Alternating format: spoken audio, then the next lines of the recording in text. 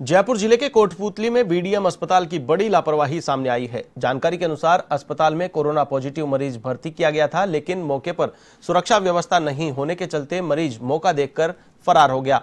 सूचना के बाद अस्पताल प्रशासन में हड़कंप मच गया और मरीज़ की तलाश शुरू की गई। बाद में एसआई रविंद्र कुमार ने यूपी निवासी इस मरीज़ को पकड़कर वापस अस्पताल में पहुँचाया, लेकिन एक बार हुई घटना के बावजूद अस्पताल प्रशासन की नींद नहीं खुली और मरीज़ अस्पताल में बाहर ही बैठा रहा, जहाँ से वो आसानी से फिर से मौका देखकर फरार हो सकता था। अब इस घटना को लेकर पीएमओ के मीणा और उनकी कार्यशैली पर सवाल उठ रहे हैं।